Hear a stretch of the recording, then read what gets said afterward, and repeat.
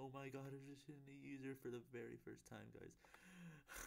I was so lucky I had a chance to record this.